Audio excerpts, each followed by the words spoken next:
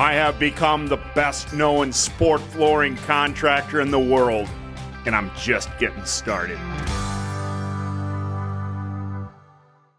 Hello, this is Paul Nelson with Western Sport Floors, Wyoming Wood Floors, coming to you today from CM Russell High School in Great Falls, Montana. We are going to talk gym floor maintenance. I have with us uh, the superintendent, or excuse me, the principal, uh, assistant principal, some basketball coaches, the maintenance folks. Thank you all for coming, and thanks to our administrators to really successfully do this. I've found that it helps to really have administrators that are involved. So thank you. Everything that I'm going to say, I, I get in 250 to 300 gyms a year throughout a year, and so these are just kind of my observations of people and facilities that do things really well. It isn't meant to be a criticism, anything you're doing now or, or may do in the future. I'm sure there's many right ways to do this. And so these are just my opinions, my ideas, the observations that I've made on facilities that really, really look nice and how those folks keep them up. In the state of Montana, if any of you all get a chance to get through Miles City and stop by the Miles City Community College, that head of maintenance at the Miles City Community College may do a better job of gym floor maintenance than any guy I've ever seen. So there's something if you happen to be traveling with sports, stop by the Miles City Community College. So when I think about cleaning a gym, the first thing that I think about is keeping my cleaning utensils clean, my cleaning things clean. The, the, the props that I brought with today are the cleaning instruments that we use in my own shop and warehouse, okay? I wash these in the washing machine often. Uh, no? in my mind, when I see cleaning equipment that's absolutely filthy, I say, how can that really help? You know what I mean? That can be put in the washing machine. These dust mop heads can be put in the washing machine. I like to see a facility where somewhere in a corner and I don't just know where you do it here, but you have some of these cleaning instruments hanging up, particularly the dust mop. Because the dust mop isn't just the item that your engineers or your custodians will use. Your dust mop really can be used by all the users of the gym. There's nothing wrong with the kid helping to maintain the facility, in my humble opinion. Uh, so maybe after basketball practice, it's just part of your routine. Somebody runs the dust mop over. Uh, I don't know if we have a ed teacher here, but think about this. When the math teacher is up writing on the whiteboard and, and she's done with a class and she's written several things up on the whiteboard and it, it's time for the next class, she doesn't call down an engineer or custodian to wipe off the whiteboard. It's her classroom. There's certain things you do just to keep your classroom in order. No different really from a phy ed teacher. If it's a mess, have a kid or the ed teacher run this around. It's everybody's responsibility to keep the facility looking great. Now from the custodian, from the engineer standpoint, keep this thing close where it's easy to use and it's clean, hanging up around a corner somewhere so that these users can help you maintain this facility, okay? If you don't take anything else out of today, take the thought that you should be running this across the floor multiple times a day, not just your custodial crew, but all the users of this facility. Okay? Make sense? the one question that I get is slippery floors. Paul, our floors are slippery. Your darn finish is slippery. Well, our finish, we on this particular floor, we've used Bona Super Sport. That's a premium water-based finish it's used in D1 colleges. It's used on professional basketball courts. The Bona Super Sport is not a slippery finish. If there's a slippery floor situation, it's a, it's a maintenance issue. It truly is. Human beings, there's a certain amount of body oil. So when we're out and we're sweating and that drop of sweat hits the floor, the water evaporates and there's a little bit of oil left. And in time, with lots of that, you'll actually get a skim coating of oil across your floor.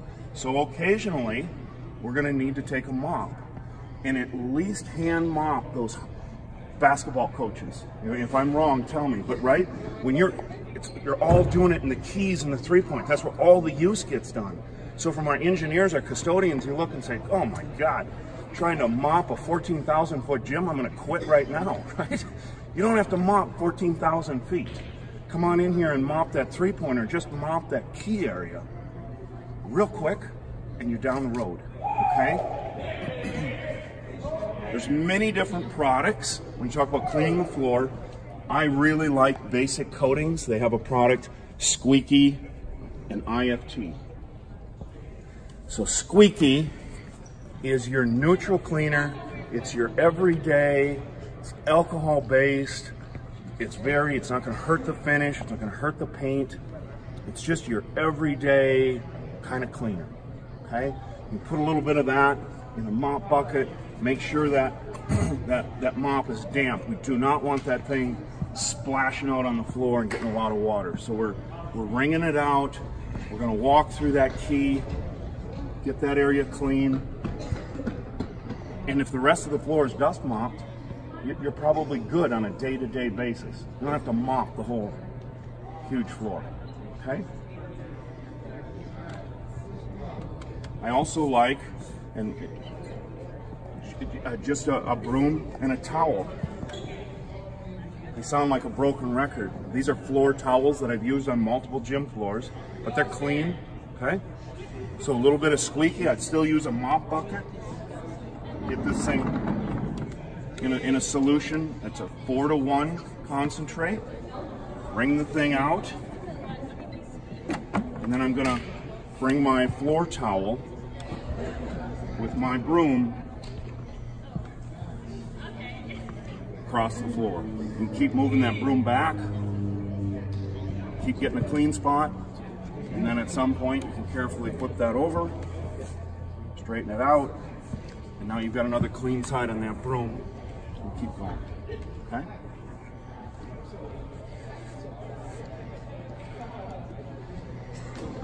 I'm going to talk about floor scrubbers. So I have my hat on right now. I am a, a distributor for Robbins Sport Surfaces Action Sport Floors. Okay?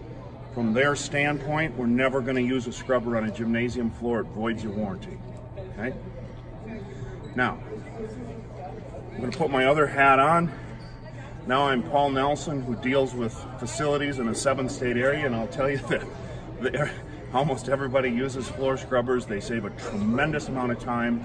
And so the world that I live in, I'm, I'm just gonna tell you, most people use floor scrubbers. Your manufacturer's warranty expires in a year anyway. So it isn't like you're losing a lot after the first year.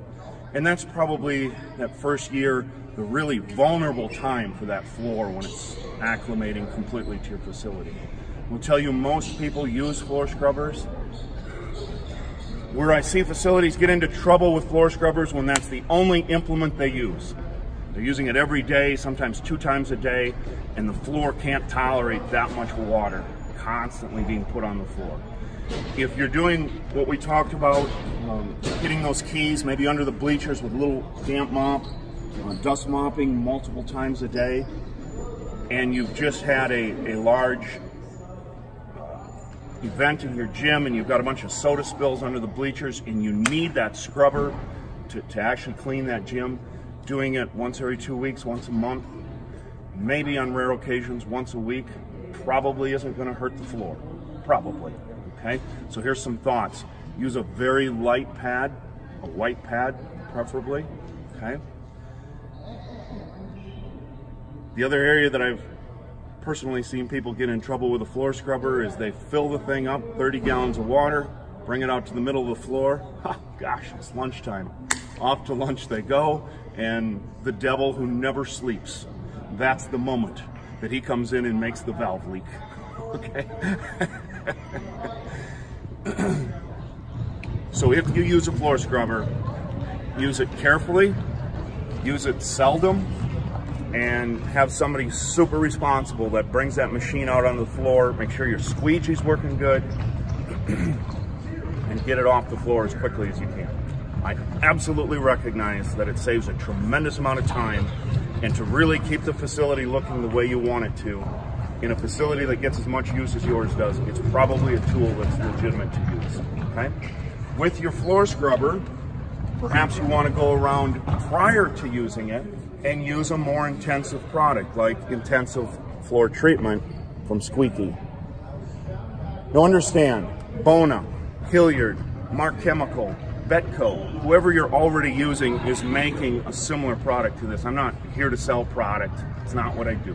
It's just, these just happen to be the product that we use in our organization.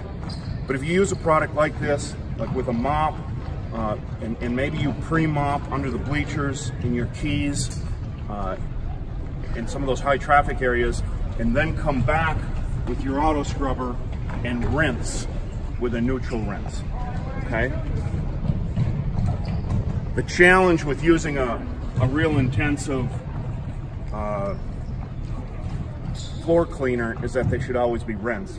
And it's hard to rinse with just a mop and a bucket. So if you're going to be using your scrubber, uh, that's a great time to use your more intensive floor treatment just prior to scrubbing the floor. Okay?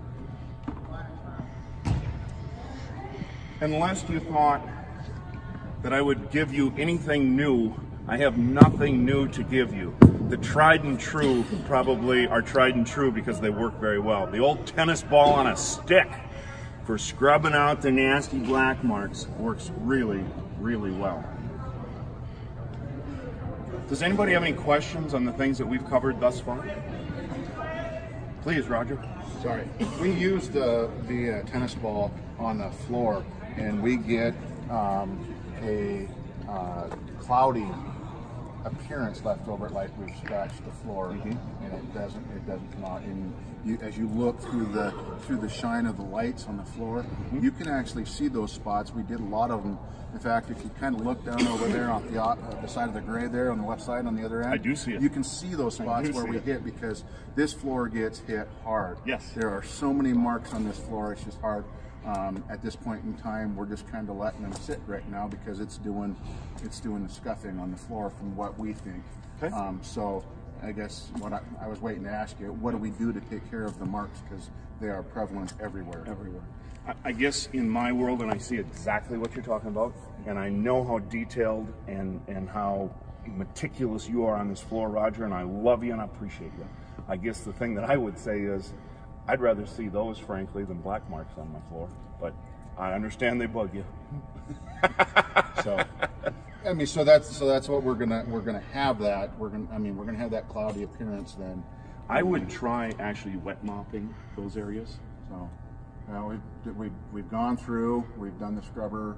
Um, you know, you do the the foot the foot deal. Yeah. I mean, even doing the rubbing the foot does less less marking on it than what the tennis balls have done. So that's kind of what my guys have done now. Has gotten to the they're out here doing the dance, doing the dance. So, so because it doesn't do it doesn't do as much damage, or, you know, right? What we think is damage to the floor. So makes sense. Carrie, somebody else had a question. Just when you're using that push broom and that towel to do a floor like this, I mean, how many towels are you going through? I'll go through however many it takes. I mean, towels. This is a $2.50 towel from Walmart. And what do I care if it takes me 15 of them, right? Got a huge washer back there. Throw them in. And this squeaky alcohol-based dries so fast, you could literally do some of this even at halftime during a game. Very effective. You see it on televised games. They're doing it all the time. They've always got somebody out on that field. And that's the type of product. Again, I'm not here to sell product. A lot of people have alcohol-based neutral cleaners. Okay? Great question. Anybody else? So the next, what we're going to do now is we're going to talk about recoating the floor. And I just want to address that, Roger. I so appreciate you and how you want to keep this floor and to really keep it to the standard you want to keep it. This is a two time a year recoat floor, frankly. Um, and, and let's talk about this room, you guys. They've done studies. Nine out of every 10 people that visit this school are coming to this room. You know, they should be going to the classroom, but they're coming here. it's just the reality. So having this room look good is monstrously important to the image of your school. Fair enough? All right, for West, yes, Alan. How many coats? Every time you finish it, how many coats should I put down? Yeah, if we're doing water-based finish, I, would be looking for two coats. Two coats. Okay. And I and we'll go in next now and do the recoat process. Okay. Any other questions on maintenance? Is this one of my phy ed teachers? Yes. Awesome. Boy, I kind of threw you under the bus a little bit saying the phy ed teacher had to dust mop the floor.